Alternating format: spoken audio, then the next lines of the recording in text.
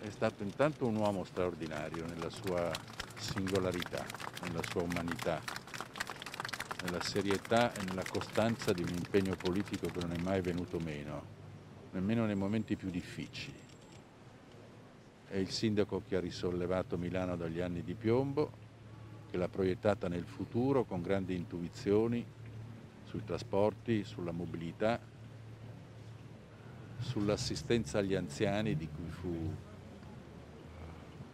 esempio insuperato e sull'amore per la povera gente. Basti ricordare l'episodio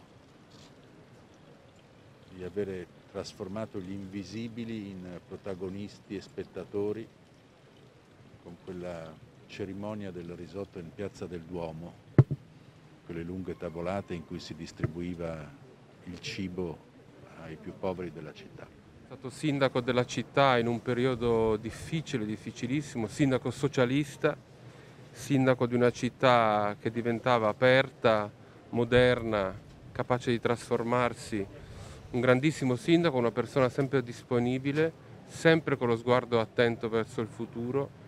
Mi ricordo quando parlava con grande anticipo della città metropolitana, mi ricordo il suo coraggio di chiudere il centro storico in tempi in cui non si, ancora non si parlava così tanto della questione inquinamento. Una grande persona, un grande vuoto lascia una grande tristezza.